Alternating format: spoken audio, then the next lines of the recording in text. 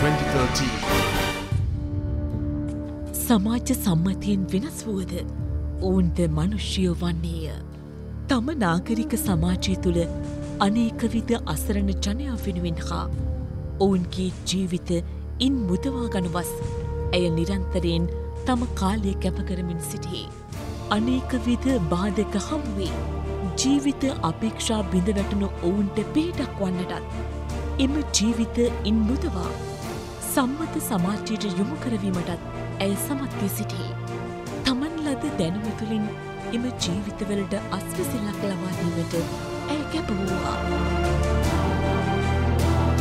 ඔවුන්ට පිහිටවිමින් ඔවුන් වෙනස් කළ හැකි බව ඇ වටහාගනු ලැබීය. මෙවන් උදාරතර සමාජ මිහිවරක යෙදින්නේ කලෙස තම ජීවිතය කැපකරමින් අන්න අයගේ ජීවිත සූපත් කරවන්නේක වන ඇය අරලිය අභේසේකරනම් වන්නේ. අංකුට මානසික රෝකල තුළ නේවාසික ප්‍රතිකාර ලබන රෝගීන් උදෙසා තමා ලද දැනුමෙන් ඔවුන් සුවපත් කිරීමට කැපවිය. සමාජයේ අනෙක් තරුණියන්ට ආදර්ශයක් වෙමින් ආත්ම විශ්වාසය පෙරදැරිව. ඔවුන් හමුවට ගොස් ඔවුන්ගේ මානසික සෞඛ්‍ය උදෙසා සිය දායකත්වය ලබාදුනේ. රෝග සුවපත් කිරීමට ඖෂධවලට හැකිවුවත් ජීවිත තුළින් තවත් ජීවිතයකට ලබාතින ආතරය රැකවරණය නීරෝගී ජීවිතයකට මග කියාපාන්නකි. මම අංගොඩ මාංචික සෞඛ්‍ය විද්‍යායතනයට ආවේ දෙදා සෙකොලා වර්සේදී ඊට පස්සේ මුලින්ම වැඩ කරන්න ගිය ෆොරෙන්සික් සයිකියාට්‍රික් බෝඩ් එකට. ඒ කියන්නේ මනෝවෛද්‍ය අධිකරණ එකකයට ඒකේ ඉන්න අපේ සේවාලාබීන් අනිත් මනෝවෛද්‍ය සේවාලාබීන්ට වඩා වෙනස් ඒගොල්ලෝ ඇවිල්ලා තියෙන්නේ යම් කිසි වැරද්දක් කරලා එක ලොකු වැරද්දක් වෙන්න පුළුවන් නැත්නම් ඒක පොඩි වැරද්දක් වෙන්න පුළුවන්. ඒ හින්දා ඒගොල්ලෝ එන්නේ අධිකරණය තුළින්. ඒකට මට හිතුණා මේ මිනිස්සුන්ට එළියට යන්න බෑ.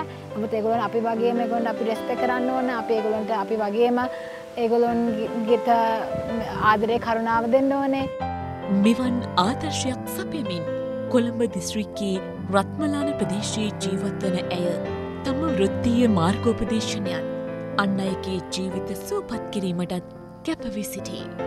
ඇත්තම මම අරලියව දකින්නේ ඉතාමත් දක්ෂ ඉතාමත් කඩිසර ඉතාමත් කිට්ටුවෙන් රෝගීන් සහ ඒ සේවා කණ්ඩායම් එක්ක සේවය කරපු ඒ වගේම තමයි නොයකුත් විදියේ දක්ෂතා ඇති තරුණියක් විදියට. ඒ වගේම තමයි ඇයට තිබුණා නොයකුත් විදියේ ක්‍රියාකාරකම් කිරීමේ දක්ෂතාව. මොකක් හරි දෙයක් සංවිධානය කිරීමේ දක්ෂතාවය. විශේෂයෙන්ම රෝගීන් එක්ක සහ මානසික රෝගීන් එක්ක මානසික රෝගීන්ගේ අධිකරන මානසික රෝගීන් එක්ක සේවය කරන එක ඉතාමත් අමාරුයි පුහුණුවීමක් නැතුව.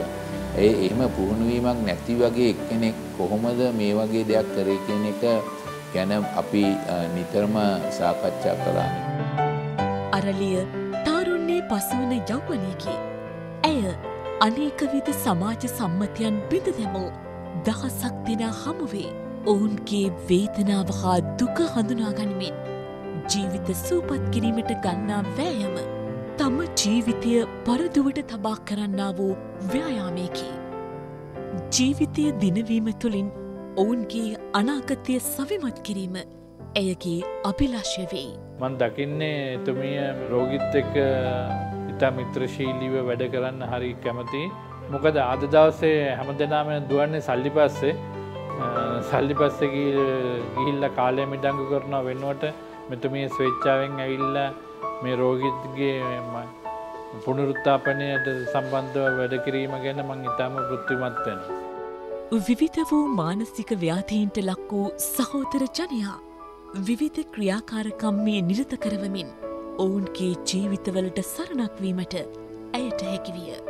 අසරණ ජීවිත සූපත් කිරීම සඳහා ඇය පුදුජන ප්‍රවාහන සේවා උපයෝගී කරගනමින් මං මාවත්දිග ඇවිතියමින් ඔවුන්ට පිහිට වූවාය.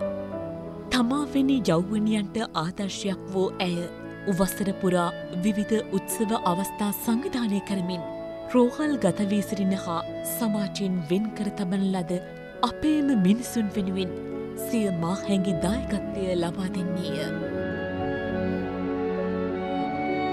කිසිවකු කිසියම් කාරණයක් නිසා සමාජයෙන් වෙන් කළ නොහැකිය. ඔවුන්ද මේ විසල් සමාජයේ ජීවතය යුතුය. ඔවුන්ට නිසි මඟ පෙන්වන්නේ නම් එම ජීවිතද ජීවය ලබන්නේය. මා සිතන්නේ අප සියල්ලන්ම මනුෂ්‍යයෝය.